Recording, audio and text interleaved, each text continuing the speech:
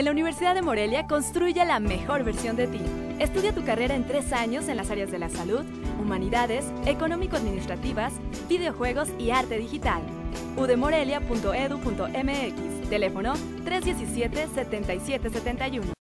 Con más de 5.000 metros cúbicos por segundo, continúa la Comisión Nacional del Agua el desfogue de las presas La Villita e Infiernillo para evitar nuevas afectaciones a municipios de la Tierra Caliente de Michoacán. En forma conjunta con la Comisión Federal de Electricidad se están extrayendo entre lo que se está generando energía, lo que se turbina, más lo que está este, eh, vertiendo, eh, está de Villita, de Villita son del orden de 5.400 metros cúbicos por segundo y de Infiernillo hacia Villita del orden de un poco menos de 5.000. Las lluvias generadas por la tormenta tropical Manuel originaron que las presas ubicadas en la cuenca del río Balsas se encuentren al 100% de su capacidad. De Chilatán, de Sicuirán, de Los Olivos, de Infiernillo y La Villita, que esas son operadas por, en forma conjunta con CFE, y, y, en la parte de, de inclusive la, la, presa J. Mújica. Todas estas,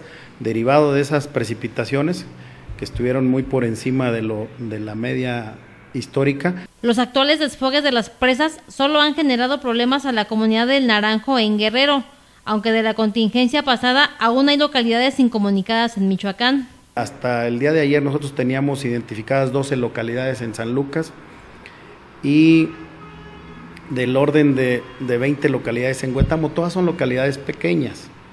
En la cabecera no tuvimos, en la cabecera municipal no tuvimos problemas, son comunidades rurales.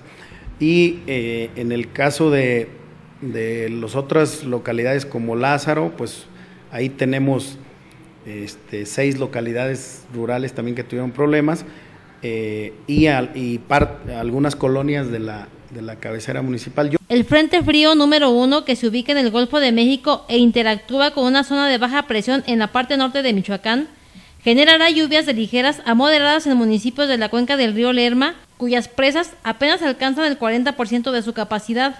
Para Cuasar TV, Sandra Sáenz.